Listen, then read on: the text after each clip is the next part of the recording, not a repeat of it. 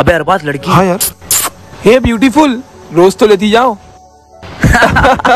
चल दूसरे के पास जाते हैं। अबे बैग।